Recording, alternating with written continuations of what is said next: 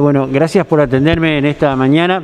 Eh, saber un poco eh, esta actividad que han desarrollado los alumnos, que es la construcción de una, fragua, ¿no? Sí, exactamente. Bueno, el proyecto de la fragua fue hecho por Luciano Zuna en su principio, que se hizo todo con material reciclado.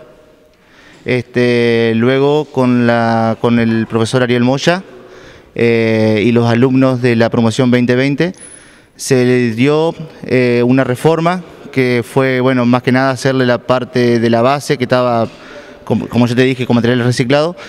Y también se le puso un motor, ya que esto en su principio era manual.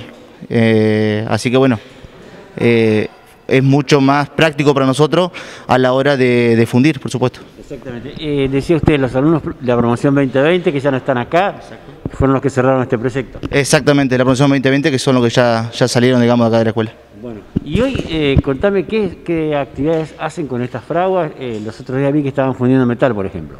Exactamente, lo que se hace general, por, lo, más común que fundimos es el aluminio, que por lo cual nosotros después lo utilizamos en lo que es tornería, eh, justamente para los chicos que están arrancando con tornería, para hacer todo lo que es poleas, engranaje, todo lo que sea en, en tornería, en vez de usar hierros duros, se usa el, aluminio.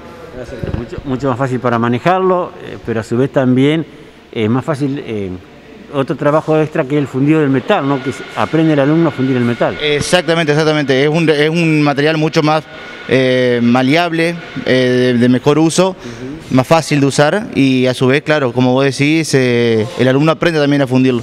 es un ese material se lo veía muy este, interesados en el tema. Sí, sí, sí, sí, le gusta mucho. Eh, incluso me pedían que, terminemos, la fragua se había roto, no, tuvo roto un tiempito, me pedían que la arreglemos para, para poder fundir porque querían aprender, así que muy contento por el, por el hornito.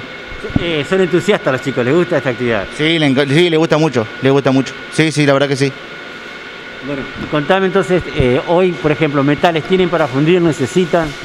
Eh, ahora tenemos, pero estamos juntando, o sea que le pedimos a la, comunidad de Cerrito todo lo que sea eh, para fundir, que se pueda fundir, todo lo que sea aluminio, eh, si lo quieren acercar o nos avisen, nosotros podemos ir a buscarlo. es bienvenido, es bienvenido porque con eso hacemos los materiales para que los chicos trabajen. ¿Y en el entorno trabajan muy bien?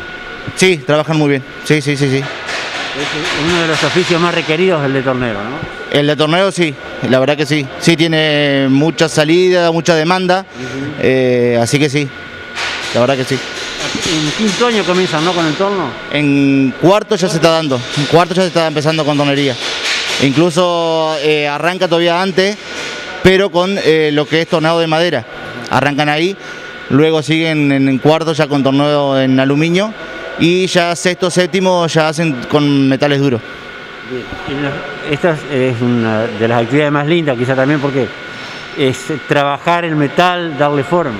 Exacto, exacto, sí, sí, sí, es darle forma a algo que, no la tiene, digamos, o que es un cilindro sin forma y nosotros le damos la forma ahí, ya sea en engranaje, en polea, eh, se hacen miniaturas de cigüeñales, se hace rosca, hay un montón de, cosas para hacer. Bueno, no le robo más tiempo, se está trabajando, le agradezco. Y bueno, y a seguir haciendo estas actividades tan lindas, fundamentalmente porque de acá saldrán los futuros profesionales técnicos de Cerrito. Exactamente, exactamente, la verdad que sí. Bueno, gracias, profe. No, gracias a ustedes por la nota.